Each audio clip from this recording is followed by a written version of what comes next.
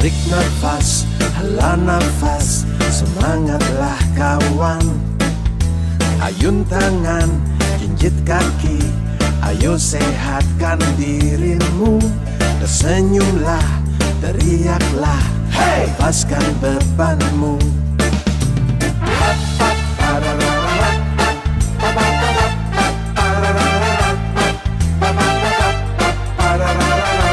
Monterrey y ngopi bareng di Halifah, ngobrol pikiran, membicarakan berbagai hal menarik tentang Ancol dan suasananya dan para pengunjungnya.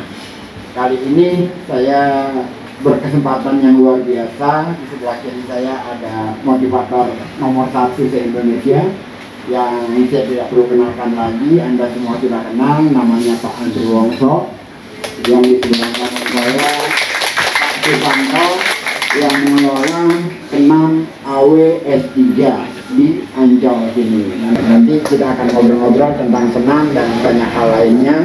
Dan sebelum itu kita akan ngobrol dulu dengan Pak Andri Wongso yang punya banyak pengalaman menarik dan luar biasa sekali.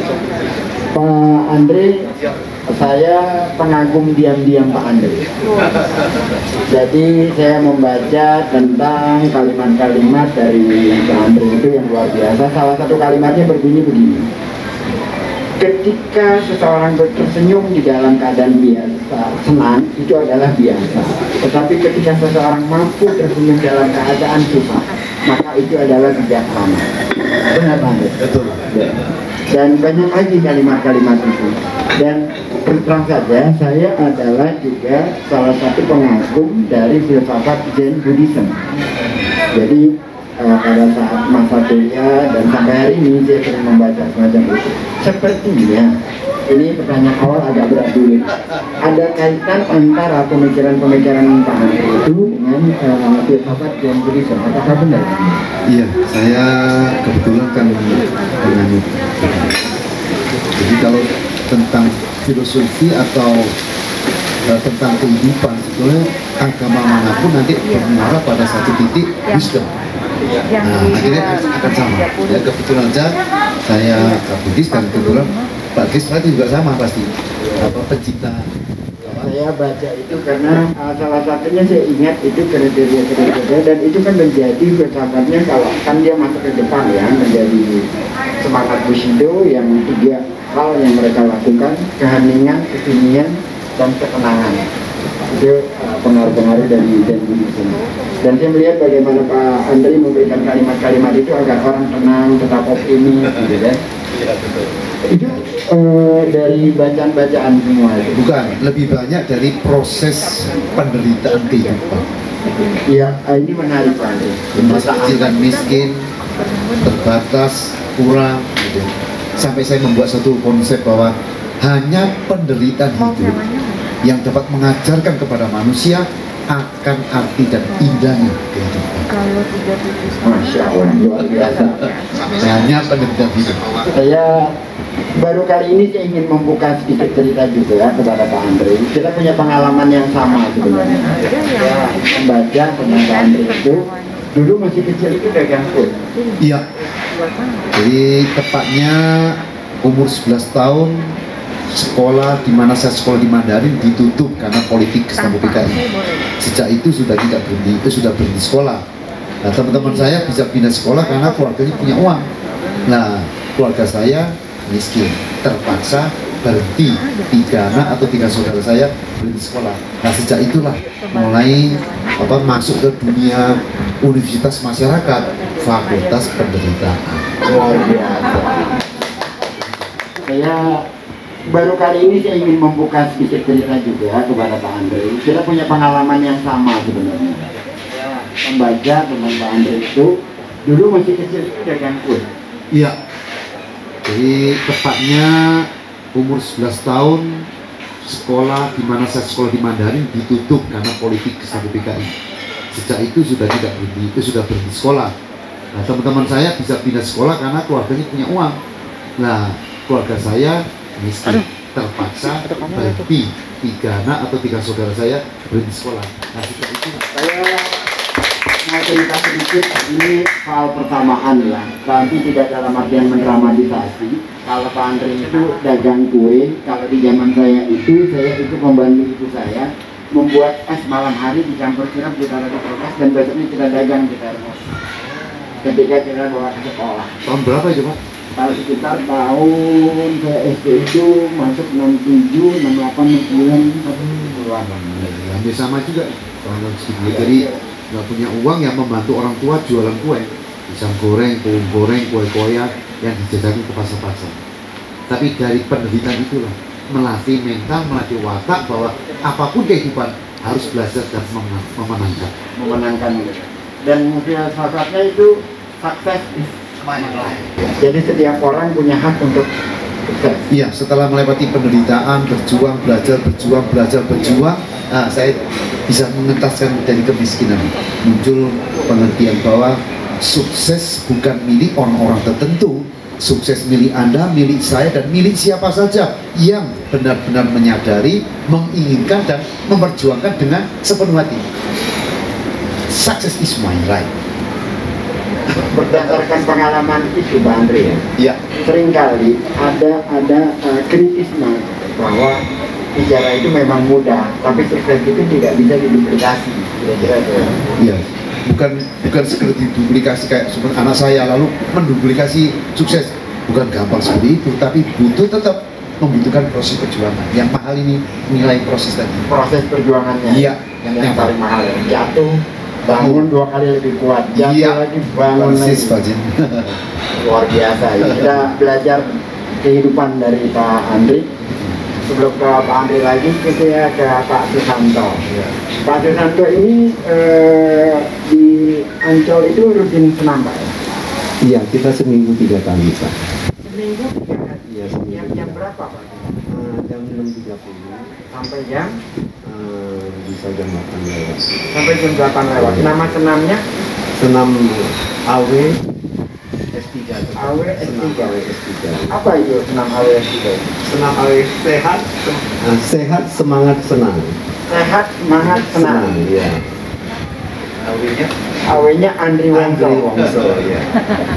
Jadi buat yang ingin sehat, semangat senang, sering-sering datang ke Ancol karena di sini Anda dapat sehat, dapat senang, dapat sehat. Iya. dapat jodoh juga Dapat jodoh juga.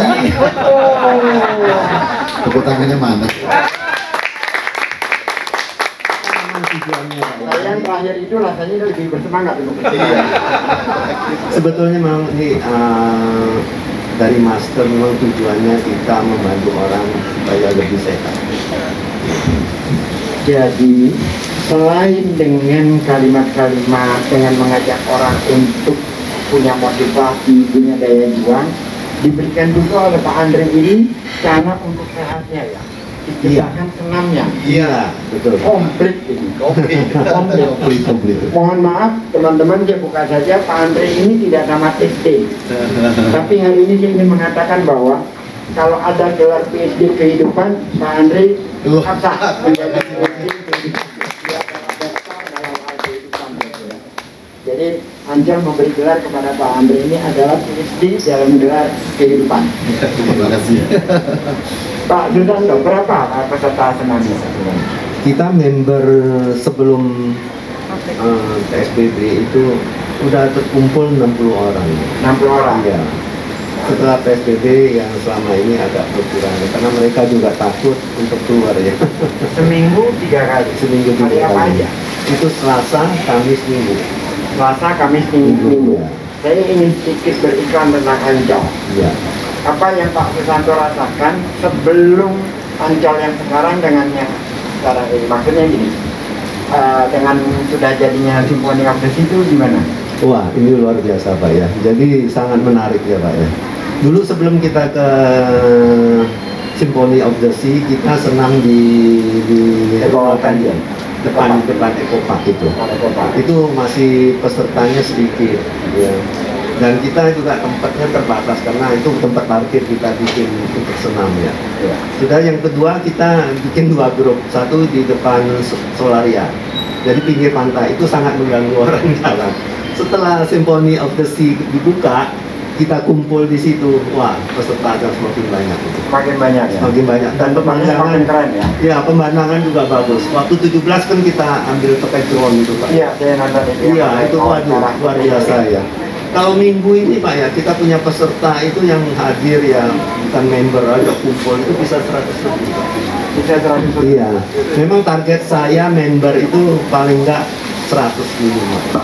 Minimal 100. Saya kira nggak lama lagi akan menjadi jasa ibu. Betul. Saya kembali lagi ke Pak Andri. Pak Andri, senam AW S3. Saya mendengar bahwa senam itu diciptakan karena sesuatu yang dirasakan oleh Pak Andri. Iya. Apa itu? Jadi terutama kira-kira empat tahun yang lalu saya mengalami cedera, cedera lutut. Padahal waktu itu saya tahun 80 sebagai bintang film Hongkong. Bintang film Hongkong. Iya, dan latihan itu Jadi kalau mohon maaf saya kasih foto ya Pak ya. Ini foto saya. Nih.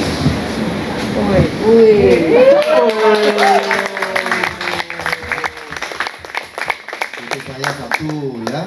Zaman dulu seperti itu. Masih sekarang gua masih enggak. Foto kedua.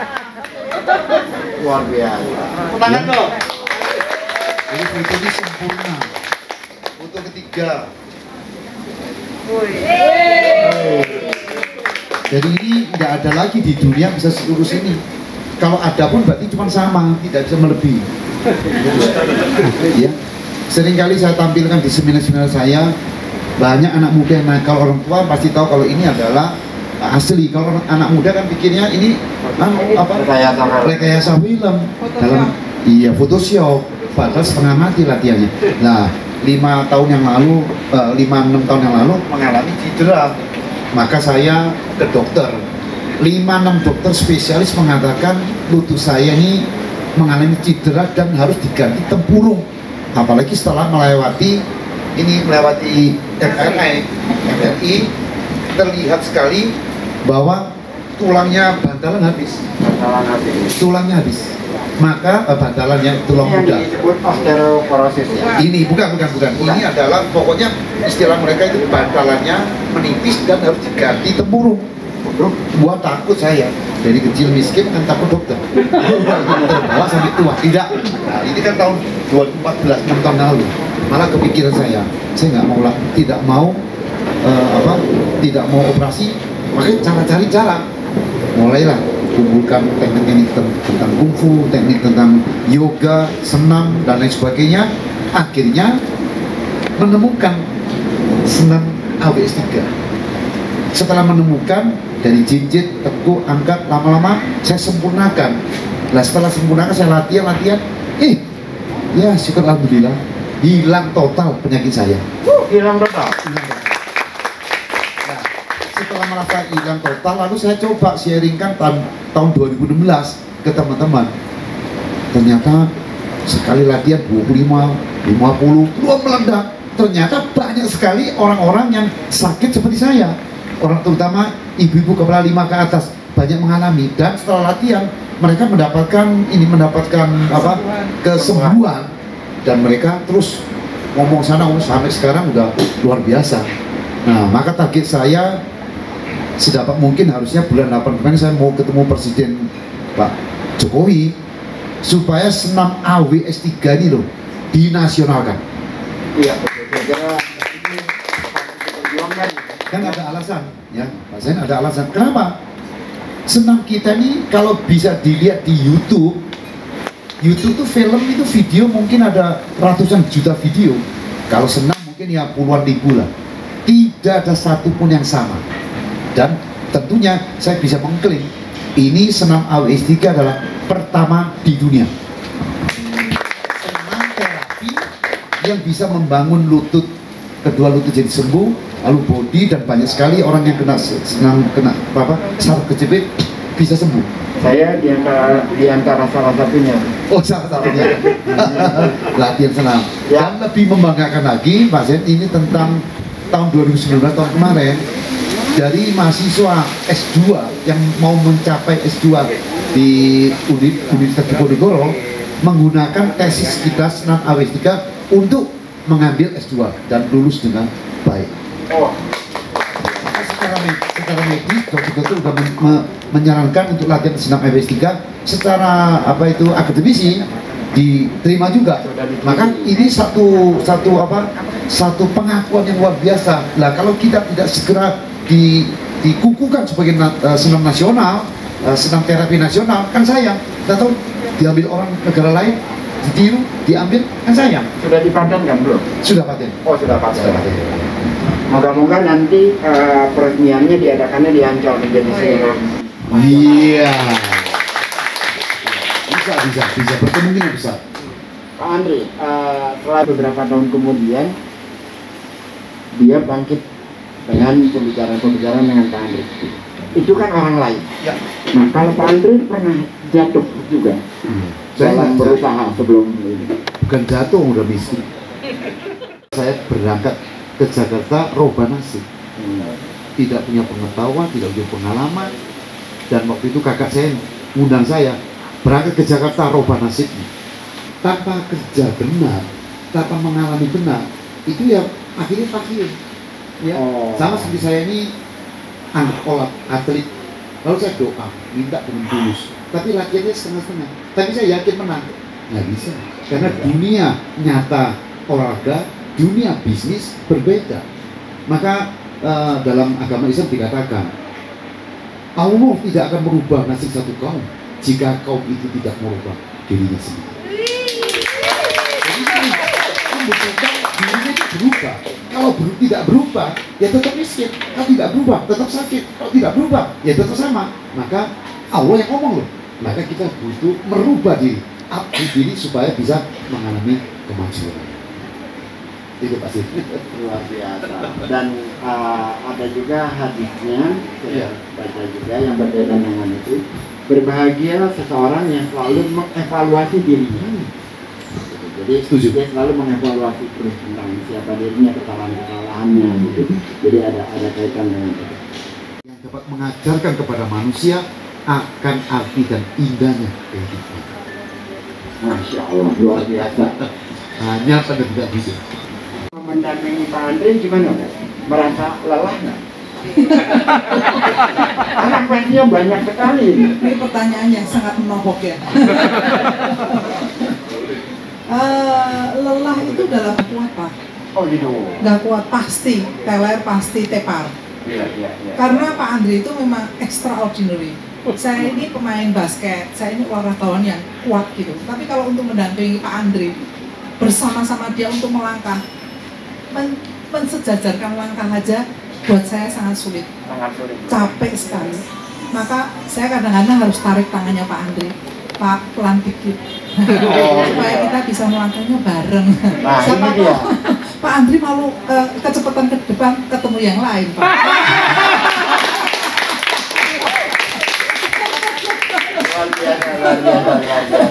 Mensejajarkan langkah nggak gampang. terus suka marah juga nggak Marah, hmm, gini, eh, kalau marah itu unsurnya jadi negatif. Tapi Pak Andri orang yang sangat disiplin. Jadi segala sesuatu yang tidak sesuai dengan goal, Pak Andri sangat tegas dalam hal ini. Pun terhadap kami dan anak-anak. termasuk anak-anak Iya, anak-anak. Maka eh, semua orang, semua orang, teman-teman kita semua rata-rata bilang, wah anaknya eh, Pak Andri bulan ini begitu bagus. Ya, semua bagus karena ada sumbernya gitu kan. Pak. Wah. Ah. saya saya dalam hal ini suka suka gaya pertanyaannya itu dari Pak Andre atau dari ibunya Dua-duanya dong. Ibu terima kasih banyak Ibu sudah Sama-sama. hadir di acara kita di Iya, acara ngobrol pikiran Insya Allah nanti akan berlanjut dengan kegiatan di Simponi of the Ya, thank you, thank you Pak. Moga-moga selalu sehat Ya, dan amin. terus uh, memberikan motivasi kepada Pak Andri. Kalau Pak Andri kasih motivasi kan kita. Silakan. Iya, makasih Pak. Ya. Tetapi untuk anak-anak mudanya itu banyak yang ikut ya. Kalau di bawah 30 tahun itu jarang Pak ya, Jarang ya. jarang ya. Padahal Rata-rata. kesehatan itu dari Iya nomor satu sebetulnya. Kesehatan ini banyak kadang-kadang orang tidak tahu ya Pak ya. Kesehatannya sebetulnya investasi yang sangat berharga sekali, yang tidak bisa dinilai. Oh, jadi anak-anak muda masih belum banyak. Belum banyak. Mungkin anak muda tahu sendiri lah Pak ya, mereka banyak kehidupannya begadang ya untuk bangun pagi itu agak males mungkin itu salah satu faktor kali ya Pak. Ya. Kalau kita umur-umur sudah ada umur ini kebanyakan bangun pagi ya Pak ya. Nah, dan banyak saya lihat orang yang disarankan sama dokter kamu harus olahraga. Nah, itu mau nggak mau mereka Baru olahraga. olahraga. Ya. Begitu menjadi kewajiban. Iya, aku suka kewajiban. Iya. Ya, Pak. Rahim Ancol di mana lagi? Cabang banyak, ada 16. Ada 16 cabang. Ya, 16 cabang. Oke, okay, tapi mungkin yang tempat paling menarik adalah Anda di Ancol ya. kali ya. Lebih udaranya lebih segar ya. Lebih ya. segar.